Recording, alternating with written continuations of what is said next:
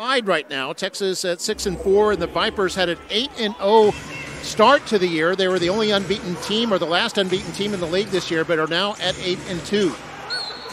Something 20 else. assists, not rebounds, assists. 20 assists in a game. As Nix drives inside, dishes it off. Garuba scores. Here's Nix with it. Nix tries to go baseline, shoots, scores. Did you see him fly down the baseline? By the way, that was worth three because he was fouled shooting a three.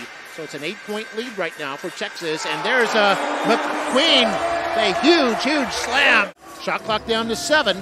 It did not reset because they haven't hit the rim. Nix will shoot it and got it. All net. Leading rebounder for these Vipers. Here's a Nix bounce pass to Garuba. Off the glass and in. Former SMU Mustang will kick it out to Jackson.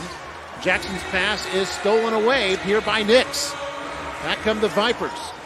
Nix drives coast to coast and scores. Oh, you're right. Uh, Queen. That was Queen. Brilliant first half. Nix a three point try. Hits that one. And Vipers with a chance to tie it up. They've been down by as many as 17, but Nix goes up and it's a tie game. And the crowd coming alive now. Jones only two points last game, but getting some points tonight. Here's Nix going baseline up against Goo, high off the glass and in. Jones, a former Louisville Cardinal, lob it over into the left side. That's uh, Hunt there, who lost the handle, and is stolen away by Mitchell. Back come the Vipers. Offensive rebound comes out to Fields.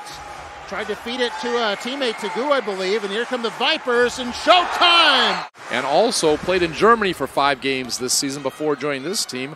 Plays for the Uganda national team, too. And the rebound comes down to Garuba for the Vipers. Long pass goes to Queen now. Queen goes up for the jumper and the dunk. Off balance shot is no good. Bay rebounds that. Here come the Vipers.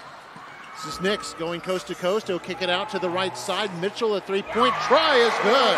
And Mitchell doesn't get that many opportunities, but he's making the most of that one. Vipers don't have too much time to work with here. Still down by eight. Nix will shoot the three and got it! And it's suddenly a five point game again. So we see that replay. Nix saw, saw the shot clock winding down. Yeah, money shot. Took the money shot.